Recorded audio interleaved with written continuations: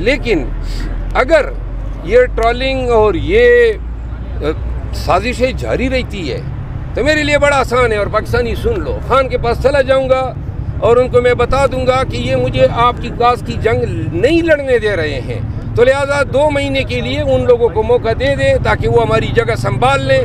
वो डिलीवर कर सकते हैं, वो पंजाब में एहतजाज कर सकते हैं, ज़िमनी इलेक्शन में कंपेन कर सकते हैं तो कर लें।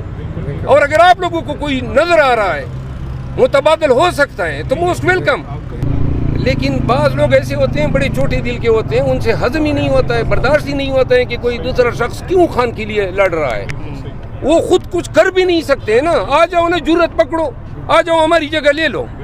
जलूस की एहतजाज की क्यादत करें। आप ज़रा सबका वीडियोस देखें, एहतजाज में हमारे साथ कम ही लोग निकलते हैं। और इसीलिए अगर कोई अपने फ़राइज़, कोई अपनी एक्टिविटी कोई अपना रोल अदा करना चाहता है सर ब चशम आप जो कर रहे हैं, कुछ पाकिस्तान से हैं, कोई एक आध, हज़रत वो अमेरिका में बैठा हुआ है, अपने लोग भी हैं, कुछ आयरशुदा भी हैं, लेकिन मैं अब इन चीज़ों से फ़र्क नहीं पड़ता है। ये जो लोग ये कर रहे हैं, ये सिर्फ़ और सिर्फ़ खान की खास को नुकसान पहुँचा रहे हैं। वो मुतद इन्होंने कोई इल्ज़ाम छोड़ा ही नहीं जो मुझ पर रह गया हो। बात यह है कि मैं पाकिस्तान तहरीक इंसाफ के वर्कर्स को बताना चाहता हूँ। इन लोगों के चेहरे पहचान लें।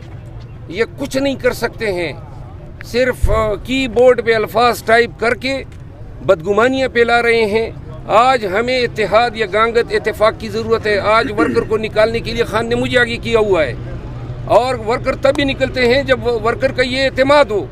कि जी ये खान के साथ लायल हैं खान के साथ कड़ा है।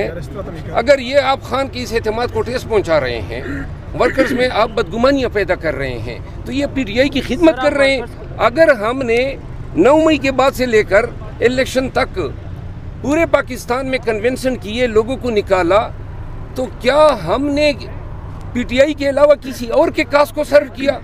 अगर इन एक्टिविटीज़ को माइनस कर दें तो पीछे तो तारीख अंधेरा है अंधेरा है।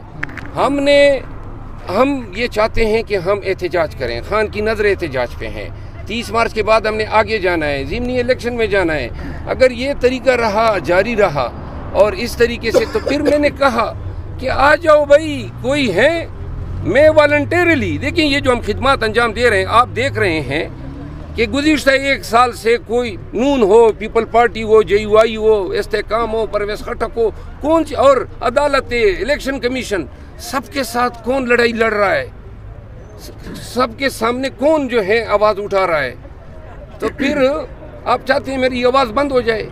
आप चाहते हैं खान के लिए ये जो नारा बुलंद हो रहा है, और वो, उसको आप मजल करना चाहते हैं? तो आप ये चाहते हैं कि नेशनल असम्बली में हमारी गरज जो है वो मदूम हो जाए। और आप ये चाहते हैं कि भाई कोई शख्स ना हो जो खान के एहतजाज के लिए, खान के काज के लिए लोगों को निकाल सके तो सोचो ना, ये किसकी आप सर्व कर रहे हैं? और मैंने इसलिए कहा है कि ये वॉल्ट्री है। ये जो खिदमत हम कर रहे हैं ना, और इसके नतीजे में जो भी हम भुगत रहे हैं, ये खान के साथ मोहब्बत, उल्फत में है। ये हमें पता नहीं था आप लोग गवाह हैं। जहांगीर, आप सब मौजूद थे जब 10 मई को मैं बाहर निकला। हमें हमें ये पता था कि एक वक्त ऐसा आएगा कि नेशनल मीडिया में मैं नहीं बनूँगा, इतना एहतराम मिलेगा, लोग इतना प्यार, मोहब्बत करेंगे। ये कोई होने से हमने हासिल नहीं किया। ये इसके लिए कोई जंग हमने नहीं लड़ी। लोगों ने खान की मोहब्बत में हमें इस मकाम पे पहुँचा दिया, तकलीफ़ इस चीज़ की है।